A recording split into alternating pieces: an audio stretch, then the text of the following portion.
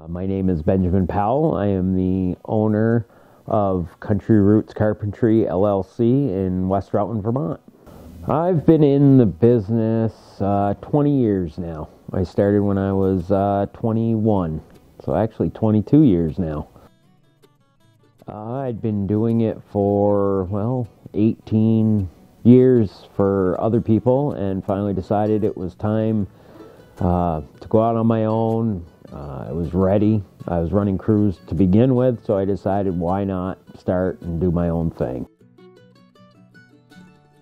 It's been difficult, especially with the MS, um, but I love what I do. I enjoy the smile on people's faces. I love seeing their reactions uh, to the work I've done. Uh, to me, it's enjoyable. You never work a day if you enjoy what you do, and I really love what I do.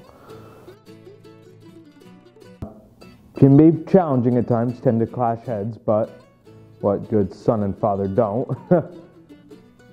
but it, it's hard, especially with his MS. You see him pushing through, yet he struggles still. It's hard to watch, but it's also inspirational. Knowing he's in pain, but he's pushing through to be able to provide for his family and the ones he loves. I was diagnosed in 2015. So I worked quite a few years for uh, other people when I did have it. Uh, it wasn't as severe in the beginning. It's definitely gotten worse over the years. So uh, that was another big deciding factor of going out on my own, uh, just because I had to take time here and there due to the MS.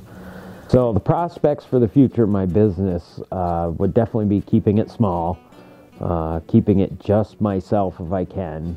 Uh, due to the MS, there are bad days that I have to take off, so not having to worry about an employee being there or telling them they can't come in for the day because I won't be there. Uh, it's definitely something I don't want to have to worry about, and I'd also someday like to have my own shop, uh, just do a lot of custom work uh, rustic furniture, things like that would definitely be a plus. Um, not to have to go up on the ladders and stuff anymore, but just to keep it small and simple. I'd keep it about the same. I don't foresee growing any larger uh, other than having the shop and doing some custom work.